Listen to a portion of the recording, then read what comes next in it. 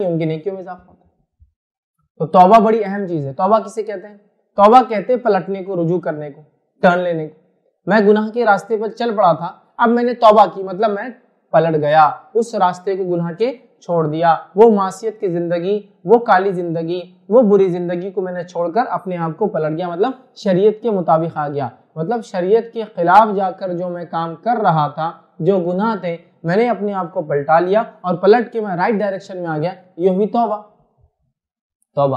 और तौबा और इस्तगफार ये हमेशा अमूमन आप देखते होंगे, साथ में इस्तेमाल होता तौबा और इस्तगफार, तोबा और इस्तगफार। इस्तगफार क्या है? तोबा का मतलब होता है रुजू करना, पलटना। और इस्तगफार तोबा करने के बाद इंसान जो गुनाह कर चुका है, उसकी माफ़ी के लिए अल्लाह से करता है। या कभी कभार साथ करता है। तोबा भी करता है, इस्तगफार भी करता है।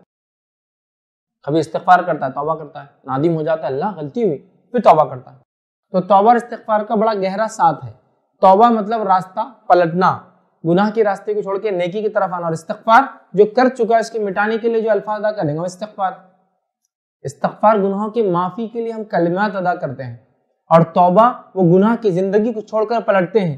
तो ज़ाहिर सी बात है, जो गुनाह की ज़िंदगी को छोड़कर पलटता है, वो इस्तगफार भी करता है, ताकि जो हो चुकी है उसकी माफ़ी हो। या फिर इस्तगफार करके तौबा करता है मतलब अरे, ये क्या गलती पता चला, अल्लाह से माफ़ी मांगी और रास्ते को टन ले ले तौबा ले ली तो तौबा और इस्तगफार अमूमन, इन जनरल कॉमनली एक साथ इस्तेमाल होता है क्योंकि बहुत ज़्यादा इनका गहरा ताल्लुक है एक दूसरे से। हालाँकि माने के अतबार से इसमें डिफरेंस है, ठीक है? लेकिन दोनों हम माना इसलिए होते हैं कि एक के लिए दूसरा लाजिम हो जाता है। तौबा करे तो इस्तगफार भी इंसान करता है।